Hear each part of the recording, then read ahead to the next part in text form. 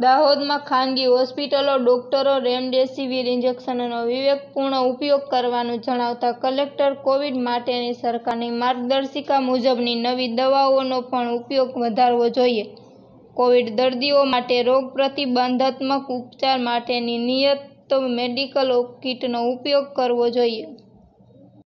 કોરોનાના કેસો જે અત્યારે દાહોદ શહેરમાં અને દાહોદ જિલ્લામાં આવે છે, એમાં ઘણી બધી પ્રાઇવેટ હોસ્પિટલોને પણ આપણે કોરોનાની ટ્રીટમેન્ટ માટેની મંજૂરી આપી છે.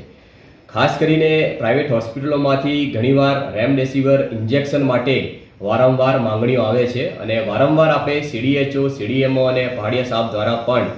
આજે ડૉક્ટર્સ જે છે એ પ્રાઇવેટ ડૉક્ટર્સ અને પ્રાઇવેટ હોસ્પિટલને પણ આપણે વારંવાર ધ્યાન દોર્યું છે કે પણ જે રેમડેસિવિરનો ઉપયોગ છે એનો વિવેકપૂર્ણ ઉપયોગ થવો જોઈએ. એનો જ્યુડિશિયસ ઉપયોગ થવો જોઈએ કે જેથી ખરેખર જેને જરૂરિયાત છે એવા ગંભીર પ્રકારના જે દર્દીઓ જે છે, એને રેમડેસિવિર ઉપલબ્ધ કરાવી શકાય.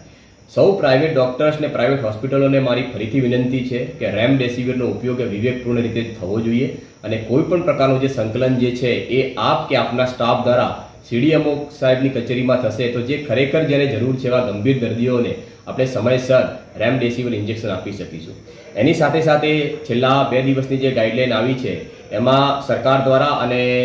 એમ્સ દિલ્હી દ્વારા પણ નવી ગાઈડલાઈન જાહેર કરવામાં આવી છે, જેમાં અન્ય દવાઓ જેવી કે ઇવરમેક્ટિન અને ફેવિપિરામિડ જેવી દવાઓનો પણ ઉપયોગ કરવાનું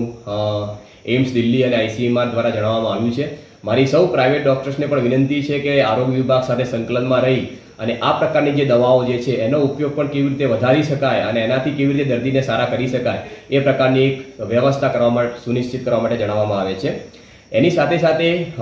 દાહોદનું જે આરોગ્ય ખાતું છે એ પ્રોફાઇલ એક્સિસ એટલે કે રોગના પ્રતિબંધક ઉપચાર માટે પણ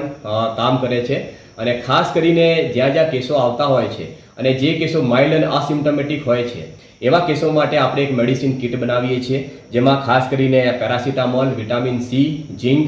azithromycin અને આયુષની જે અલગ અલગ દવાઓ છે એ લેવા માટે આપણે એમને જણાવતા હોઈએ છીએ. તો મારી સૌને વિનંતી છે કે જ્યારે જ્યારે આપણી ટીમો સર્વેલન્સમાં જાય કે જે ડૉક્ટર્સ મિત્રો જાણકાર હોય, એ પણ આ રોગના પ્રતિબંધક ઉપચાર માટેની જે દવાઓ છે, એનો પણ ઉપયોગ વધારે કે જેથી આ કોરોનાના જે લક્ષણો જે છે એ બહુ ગંભીર ના બને અને જે દર્દી જે છે એને આપણે સાવચેત કરી શકીએ અને ઝડપથી બચાવી શકીએ. Thank you so much.